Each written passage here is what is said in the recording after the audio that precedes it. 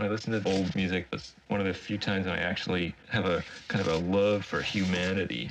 You hear the best part of the soul of the common people, you know, their their way of expressing their connection to eternity or whatever you want to call it.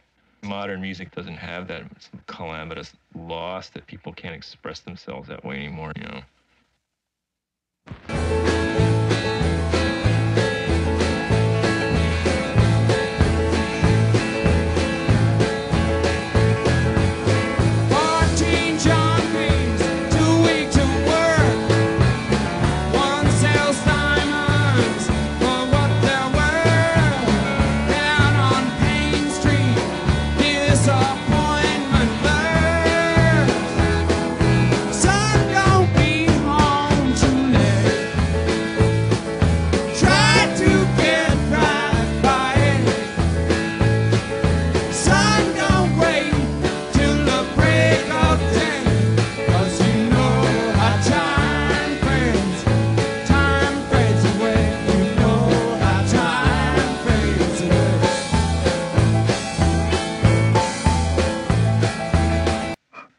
Was drawing this. There was this young girl there, and she was laughing. Oh, isn't that cute? Ah, and to me, it was just, it was all like a horror show, this whole thing.